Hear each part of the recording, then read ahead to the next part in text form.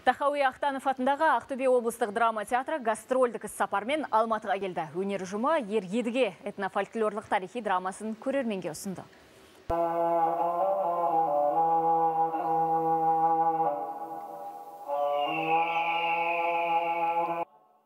Ер едіге тарихи драмасы қазақ тарихындағы ең жарқын кезең Алтын Орданың 750 жылдығы аясында сахналанған тұңғыш қойылым.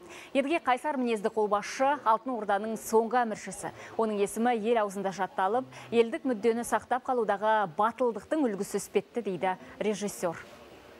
Екі ұжымды біріктіріп қойдым, филармония және де драма театрды.